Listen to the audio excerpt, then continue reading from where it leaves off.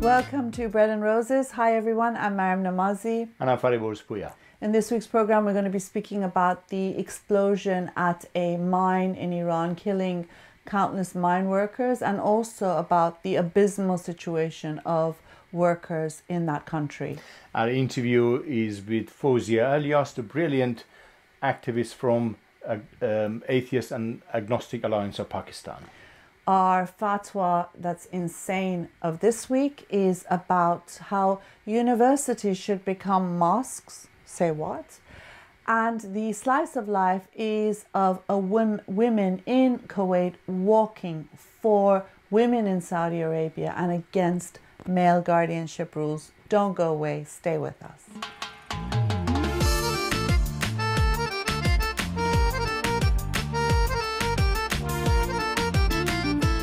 In Iran recently, uh, there has been an explosion at one of the mines, coal mines in the north of Iran, in Golestan. And uh, what's happened so far is we know that over 20 uh, miners have had uh, have died. Their bodies have been handed over to their families, but there's many more missing and obviously presumed dead. And of course, it's such a huge human tragedy and such a loss. And of course, we know that what's happened here is just the tip of the iceberg of the situation of miners and workers in general in Iran, yeah, isn't I mean, it? highlighted the plight of the working people and miners in particular and the working people. There's lack of complete safety and security for uh, working class who actually, you know, taking part in really, really dangerous um, activity, danger, dangerous conditions.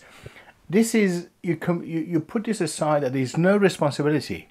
The you know the, the the inspectors were in the mine day before and passed it to safety. They did not shut down the mine. And, and this is even though the workers were complaining, were complaining about for a long time about smell of gas, yeah. methane, and the conti- and these. Not only that, there's no safety equipment. When they're trying to get the uh, to the trapped miners, there were not even oxygen masks for them mm. to go down and and rescue the workers. But that's actually highlighted the issue.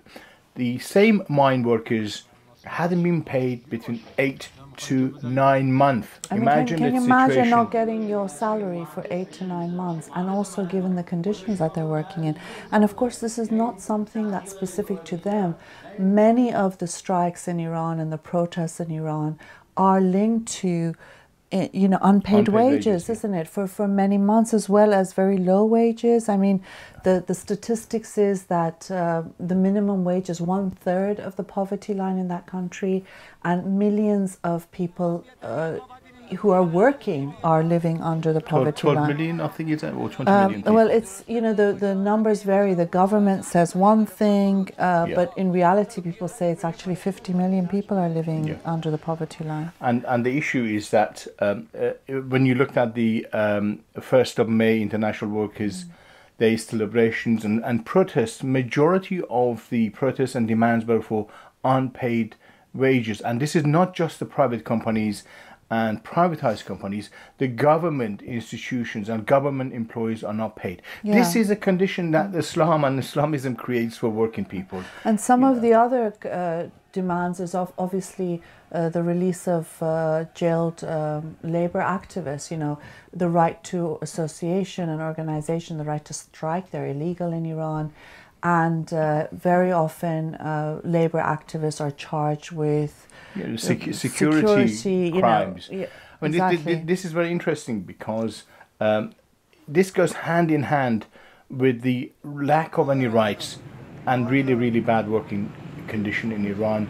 Is that's why the, uh, anybody who protests, they say you are committing a crime against the security of Islam and nation and put them and, and, jail them and flog them and that. So you put that together, you could see the role of Islam and Islamism in power. And also very and long creates... long term prison sentences yeah, for yeah. anything from five to eleven years yeah. for organizing a May Day rally or for protesting, you know, unpaid wages and things like that. And of course, the good news is one of the um, Labour uh, leaders, Behnam Ebrahimzadeh, was Yeah. recently released after six years in prison. He was kept one year longer than he was uh, meant to be kept in prison. And of course, we have other uh, Labour leaders, including Abdi, Yeah, uh, who, teacher. who's a, with the Teachers Association. His name is Ismail Abdi, who's been sentenced to six years for Yeah. colluding against the state, uh, again, for fighting for teachers' rights. Yes. So uh, you know, it's important to uh, put the um, uh, you know floodlight actually on the condition of the working class in Iran, and and the mine, um, uh, the recent mine, uh, uh, the mine, the explosion in the mine in Iran actually highlights a lot of these issues: unpaid wages, lack of security, imprisonment of the workers who protest and object to the working condition. That's life under the Islamic Republic Yeah, so of Iran. Islamic State. solidarity with the working class in Iran is key. How can some left organizations defend the Islamic regime of Iran as a regime that is pro working class? Absolutely shocking and outrageous. You know, it's, it's anti working class, anti uh, human rights in all aspects, and it's uh, something that needs to be opposed. Pressure needs to be put on to release the jailed workers and to stand with uh, the demands of workers in Iran, which includes, you know, a rise in minimum wage, better, safer working conditions, payment of unpaid wages, and the right to strike and association.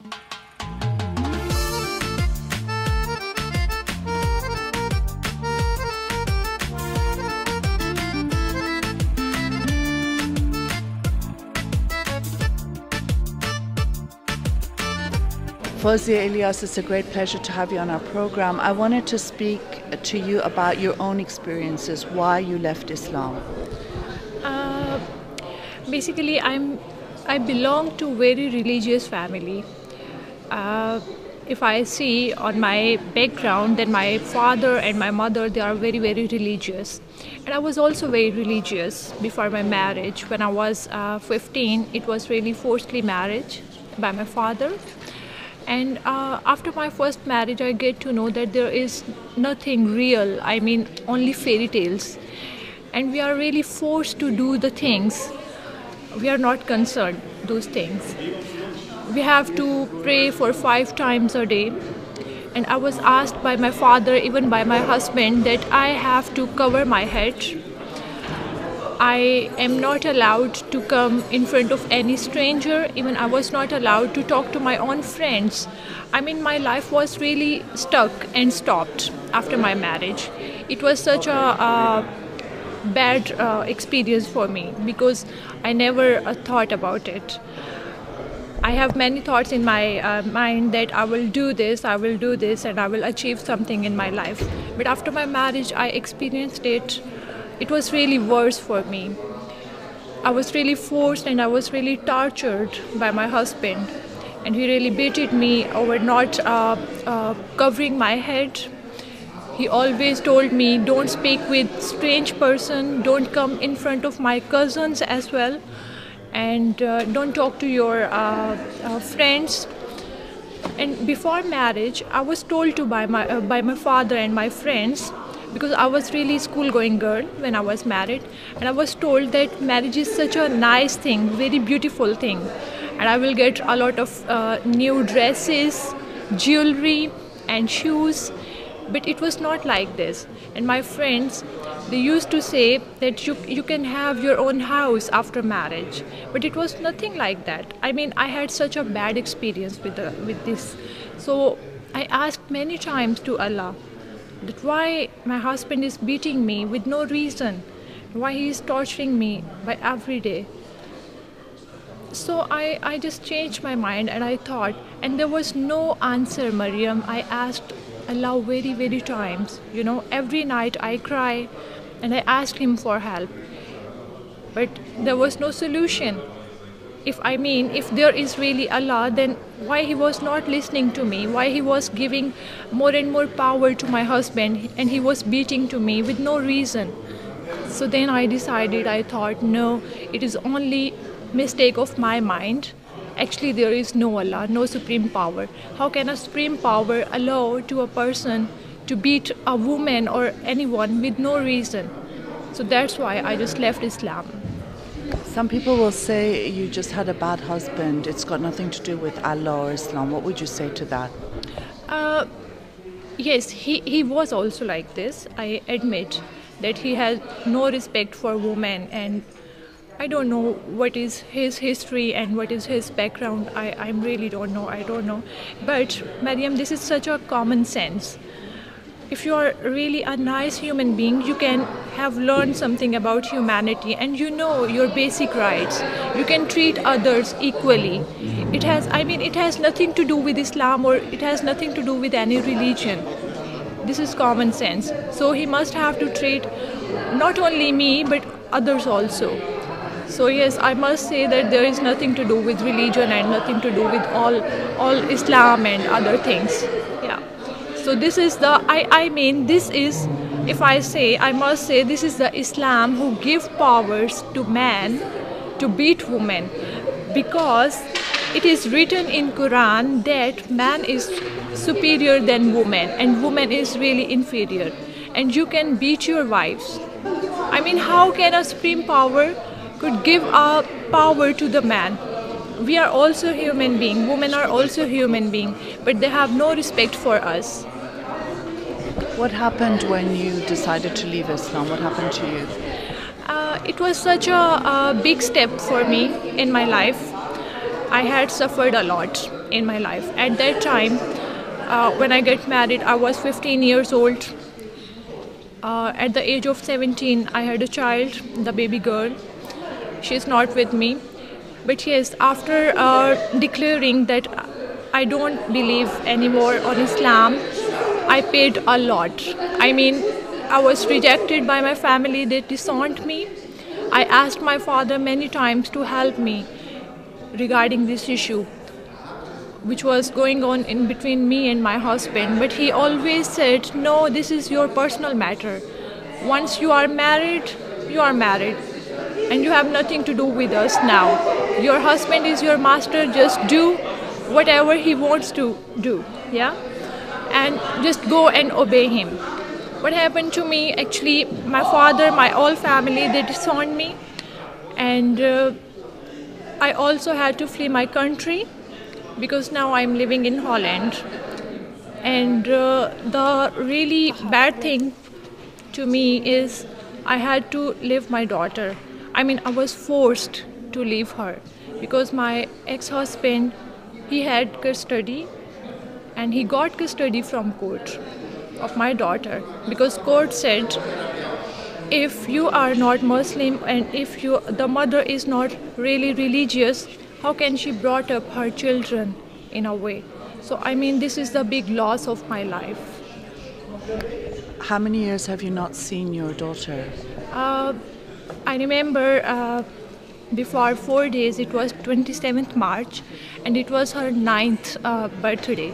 So from last five years i didn't see her. I have no contact with her and uh, i am even not allowed to talk to her to see her. I cannot. So from when she was four years old then it was really last time when i have seen her and i, I just talked to her. Now no that's, as you say, the greatest price you've had to pay. Um, uh, but you carry on. How does how do you find the strength to carry on? Uh, look, Maryam, what I want, I want what I have suffered, what I have paid. I don't want any woman, especially the woman from Pakistan, because I know what is going on uh, in Pakistan with our women, with my women. They are my people. So they are suffering every day I don't want to let these things happen with them, with those women. So, this is the reason, this is the strength, this is the courage I get every day. I talk to myself every day and I uh, assure myself every day that no, I have to speak up, I have to stand up, not only for me but for my people, my women, because they are also suffering. And I know it very well because I belong to that land that is my country and i understand what is going to happen and what is happening still now and what is the current situation so this gives me really courage and power to stand up and to speak up for the people who are suffering Why did you start Atheist uh, Agnostic Alliance of Pakistan? Um, I started it in 2012. It was really a first organization for atheists. Actually, uh, what I uh, seen that when I uh, I had questions in my mind, there was no one to whom I can ask. I can share my thoughts. What is uh, uh, yes, what is going on in my mind. So then I thought there must be any platform for Pakistani atheist people because I, I know, I knew that time also that there must be people who think like me, like minded people. So I thought there must be some platform. I googled it and I checked, I searched it many times, but I didn't find. So I thought there must be a platform, so I started with the help of Sayed, my husband. So we both decided we will start a platform. It was really dangerous for us because in Islamic country you cannot do these kind of things. But we, yes, we did it. This is with your second husband. And tell us now about blasphemy laws in Pakistan. You're campaigning on behalf of uh, several people, including Ayaz Nizami. Tell us about the laws, its impact, and what's happening with Ayaz. Uh, in Pakistan, um, Pakistan is a Islamic country. I already told many times on several platforms that 98% population is Muslim in Pakistan. It is really easy to accuse anyone in blasphemy law. When someone is not agree with you, not agree with your thought or with your point of view, you can accuse them in blasphemy law. I mean, you cannot ask any question over religion. If you have something in your mind that why Allah has written these things in the Quran, you cannot dare to ask questions. You cannot raise questions over Islam. So, this is what is happening in Pakistan when people, because now most of the people, I know the uh, majority of Pakistani people they are atheists now. They started to asking questions, but when they ask to someone, they accuse them in blasphemy law and they say, "No, you are kafir." Why you are asking it? This is what Allah has said, and He said everything really uh, perfectly, and He has expressed everything really perfectly in the Quran. So this is what many people are in Pakistan. They are accusing them in blasphemy law. Someone, if write anything, I mean, if not speak by spoken, but if they write anything on Facebook, they just book them in blasphemy law. Most of the people are suffering in this way. Their lives are on stake. People are running from their uh, for their lives. They are running to save them. Their families are also in trouble but no one cares. They only want to save Islam, but they have no care and no responsibility for the human beings. I mean, th- there is always a question in my mind if Allah has promised to preserve or to care or to protect the Islam, then why Islam is always in danger? But I never found this question. I mean, always Islam is in danger what I have seen in Islamic and Muslim countries, this is really funny that Islam is always in danger. But even they believe, Muslims believe, Islamists believe that Allah has taken this responsibility to preserve, to, to save Islam. Then why they are fighting, they are killing over people. With no reason, they are killing innocent people, they are accusing them in blasphemy law. And what happens in blasphemy law? No one will accept your case no lawyer will come to you, nobody will ask you because they think, and this is true, because in most of the cases, the lawyer are also killed by Islamists. No court accept your case because judges also uh, think about their lives. So this is really dangerous.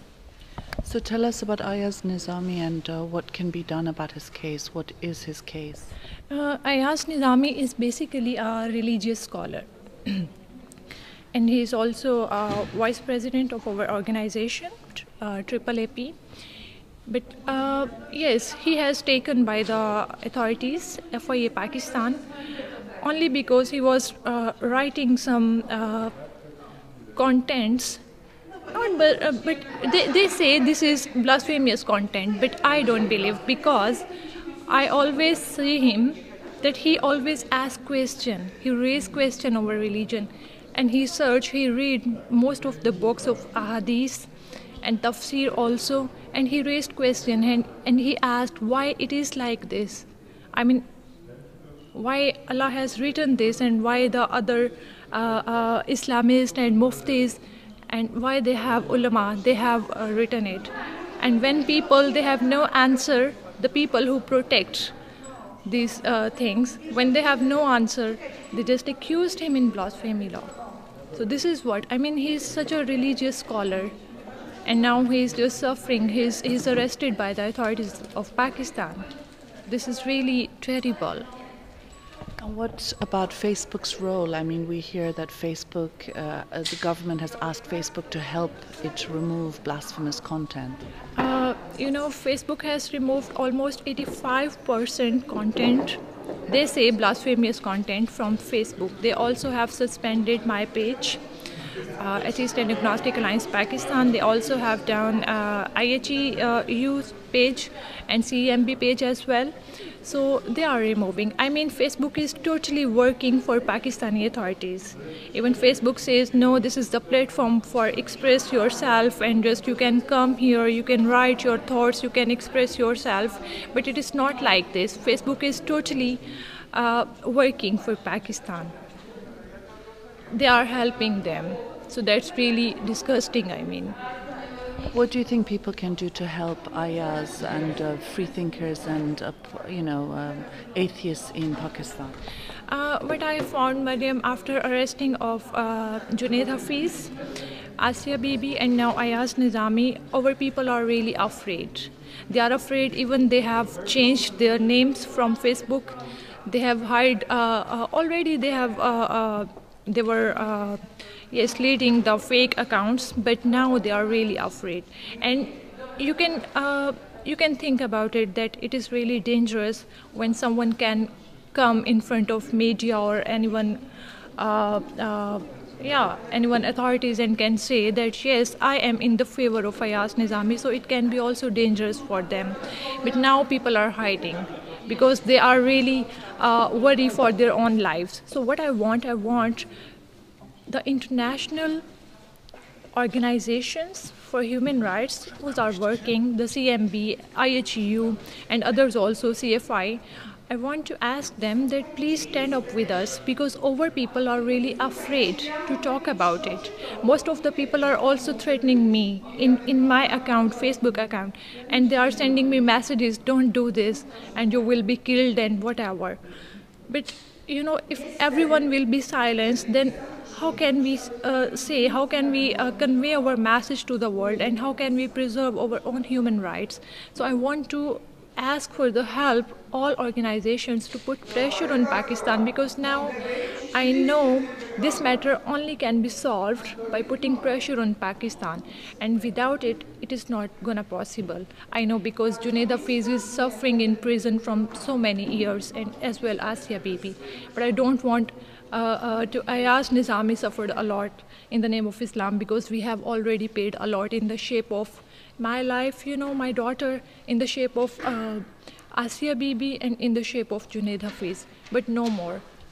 Yes. Thank you so much. Thank you so much, Maryam.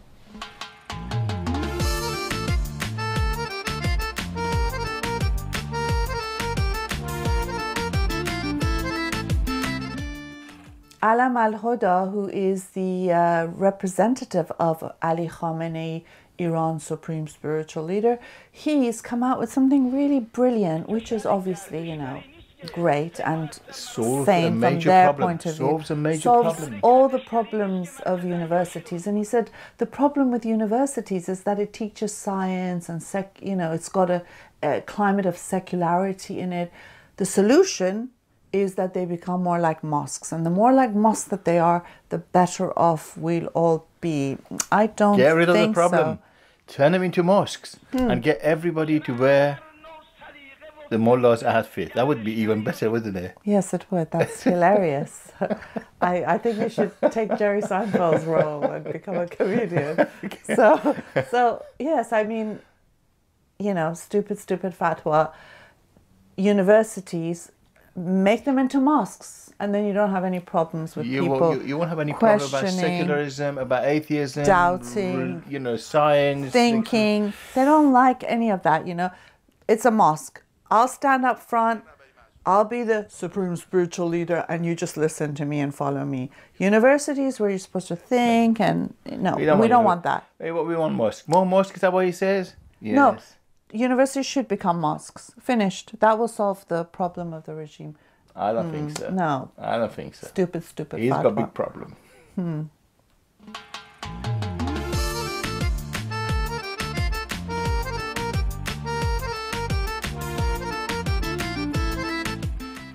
In April, in Kuwait City, Hadi Boughrais coordinated a Walking with Her campaign where she organized a group of people to walk in support of Saudi women in their fight against male guardianship rules.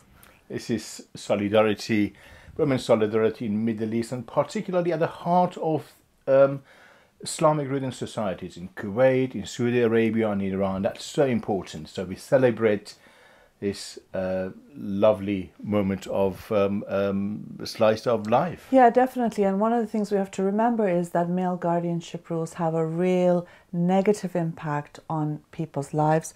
We just heard of a case of Dina Ali who fled to um, the Philippines. She was going to Australia to apply for asylum and she was dragged back home by her relatives uh, given this male guardianship rules. So it's for lots of women that they're walking, including for uh, Dina Ali, uh, who we hope is, is safe. Yes. This brings us to the end of our program. Yes, until we see you again at the same time and same place next week, have a wonderful few days. Goodbye. Goodbye.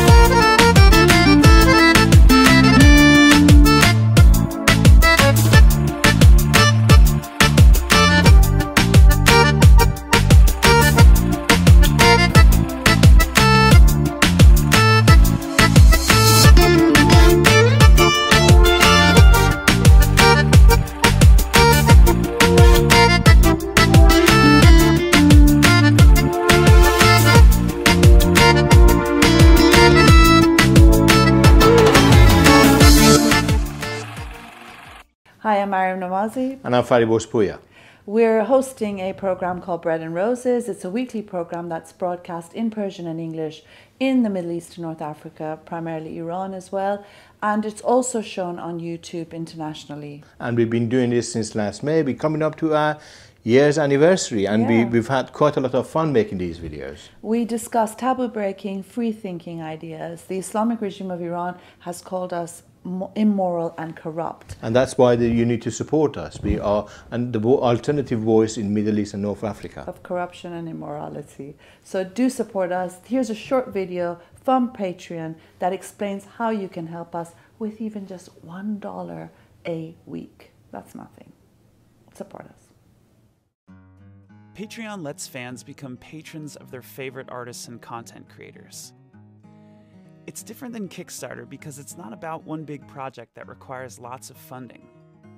It's more for bloggers or YouTubers or webcomics, anyone who creates on a regular basis.